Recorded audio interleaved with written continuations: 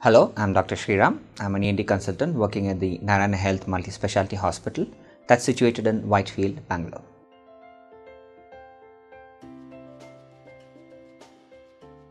Now, infected sinuses essentially means that you have either a bacterial or viral sinuses or even rarely fungal sinuses. In, in any case, infection has to be treated whether you treat it with medication or whether you treat it with surgery or whether you do it with exploration, cleaning. There are so many other things which we do to clean your sinuses, to treat your sinuses, and infection is never to be ignored.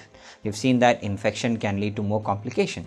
The infection can spread and destroy your bone, a very rare condition called the osteomyelitis of the maxilla. That can happen where the uh, infection is spread onto the bone and it is a very serious condition other cases where the sinuses are very close to very important structures of your body.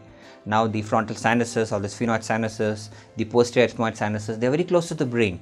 So when there is infection in these sinuses, they can spread onto the brain and cause very rare complication but very dangerous like meningitis uh, or the infection of the brain. Uh, so many other complications can happen if you if you tend to ignore these sinuses.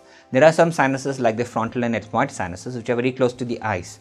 Now, if you ignore those sinuses, you can lead on to complication in the eyes. You can even go for a blindness. We have so many other complications which can happen very close to the eyes, where the movement of the eye becomes restricted. So, in any case, any infection of the sinuses, do not take it lightly because sinuses are amenable to treatment.